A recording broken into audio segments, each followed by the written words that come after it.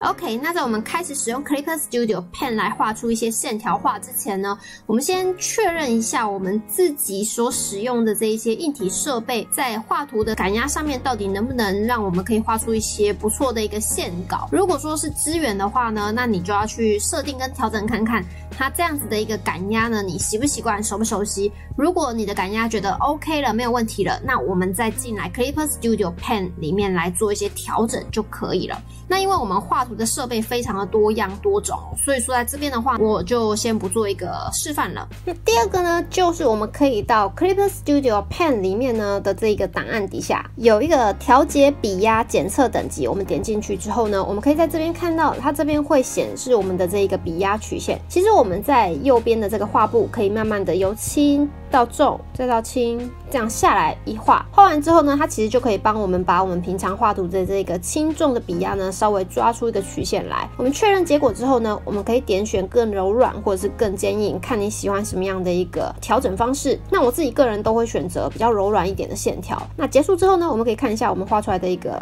笔刷的状态。那这样的线条其实看起来就非常的柔顺了。我知道有一些人呢，可能会觉得说他在调整之后呢，还是有一点点的不太习惯，或者是有一点点不顺畅。如果还有这样的状态的话呢，那我们可以使用第三个方法，就是去调整笔刷的一些属性哦。在这边的话呢，我们可以到右边这里有一个工具属性，点进去之后呢，它有一些可以调整的地方。不过这个都是比较基础的。我们可以到右下角的这个扳手这边来，在这个扳手这边呢，我们点进去之后呢，你会发现它这里有非常非常多可以调整的地方。今天呢，因为我们是针对我们的画图手感以及笔压的部分去做调整的，所以其实我们要调整的部分呢，我们前面都可以先不要看，因为这些都是比较属于这个笔刷的效果。我们可以根据后面两个部分去调整我们的笔压跟画图的手感的感觉。首先第一个是修正，那第二个呢就是起笔收笔的部分。我们先看一下修正的部分哦，在修正的部分这边呢，因为我现在的笔刷其实已经很顺畅，这是因为我已经调过了。不过还是让你稍微看一下这边的话呢，你可以调整，像是你想要让这个角变。尖，我们可以看一下，如果线比较重的话呢，好像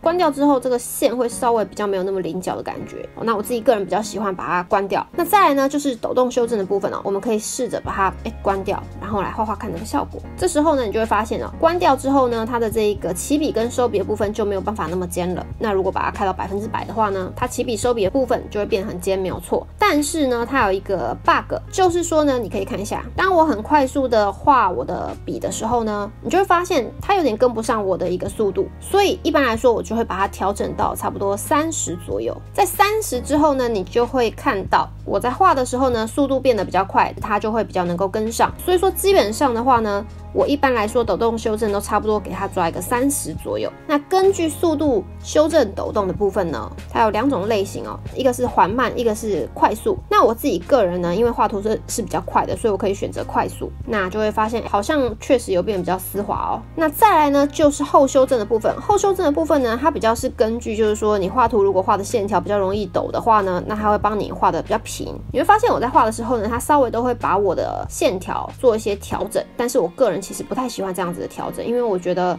这样子调整会跟我画出来的一些线条可能会有一些差异，那这样我不喜欢，我就可以把它关掉。再来呢，就是扫幅。如果我们把扫幅开到最大，你就会发现我画的每一笔画呢，都很容易有一个尾巴，有个勾勾。但这个勾勾其实不是那么的好看哦，所以说一般来说我都会把这个勾勾把它关掉，开到最小。再来呢，就是我们起笔收笔的部分啊，在起笔收笔的部分呢，其实像这边的话，它有一些可以调整的部分，但是根据我自己调整过后的一个状态，我自己觉得变化并没有特别的大，然后像这个部分我也没有特别去调哦，因为我也没有看出一些很细腻的部分有一些差异的，